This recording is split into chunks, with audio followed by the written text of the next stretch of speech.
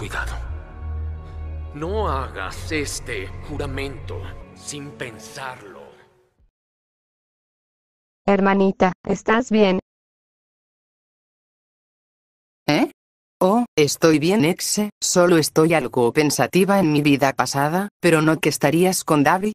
Sí, pero me mandó para decirte que alguien entró al bosque oscuro, y no es un humano sino un Darkanti. ¿Qué? ¿Un Darkanti? Así es, Dayana, me dijo que vayas con él para que lo veas por ti misma. De acuerdo, iré enseguida.